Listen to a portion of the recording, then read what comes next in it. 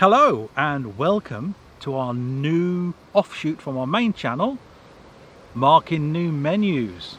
Oh, that's close. I said that right, hopefully. Yes, you did. Because obviously our main channel is called Making New Memories.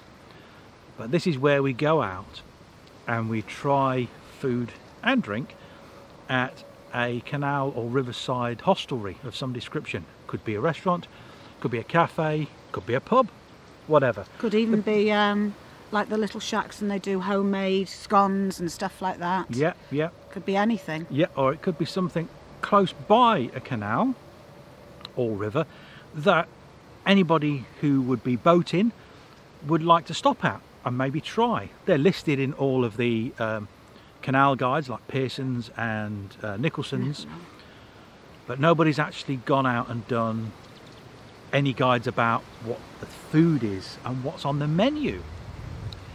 So we thought, having been to the Cotton Arms in Wrenbury, we would try and do something similar to that, where we go out, we try something on the menu, and we give it a mark out of 10.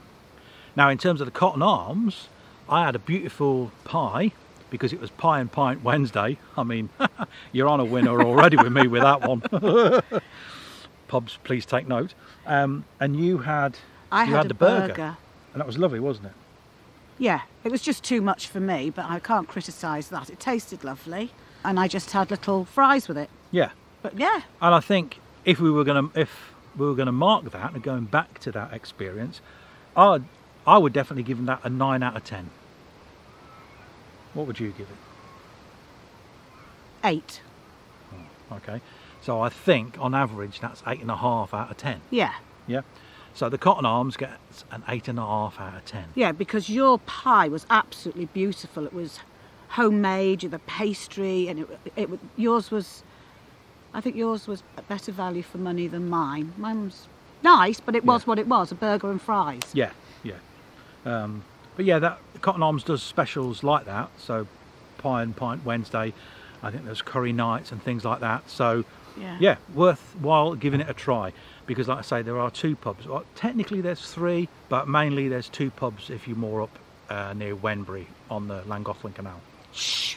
Can't tell you about the other one, but what we can say is that we will be posting these occasionally, maybe once a month. Keep an eye out for them. I can't wait for this. Oof.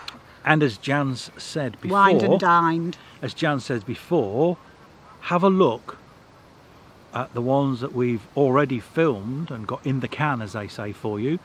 Here's a little taster. Mm. Guacamole hummus. That's got a kick to it. It's got aubergine in. Salt cod fritters. We're going to share it because I wouldn't be able to eat that and a main meal as well. There's the loomy fries. Eight ounce sirloin steak, mushroom salad, and onion rings. We haven't had a steak in ages, have we? No. The lamb burger came raw in the middle. He grabbed all the female attention when he played a character called Rocky. And I'm guessing that's why this is called a Rocky Burger. Sizes and everything, Jan.